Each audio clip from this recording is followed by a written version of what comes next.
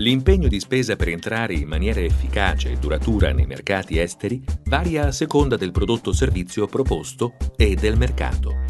Si va da alcune decine di migliaia fino ad alcune centinaia di migliaia di euro di investimento per prodotti che richiedano l'ottenimento di autorizzazioni particolari, certificazioni, permessi e o l'apertura di punti vendita diretti al pubblico.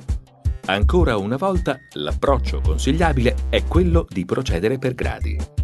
È importante infatti aver destinato fin dall'inizio delle risorse specifiche, sulla base di un business plan, per sostenere il processo di espansione all'estero.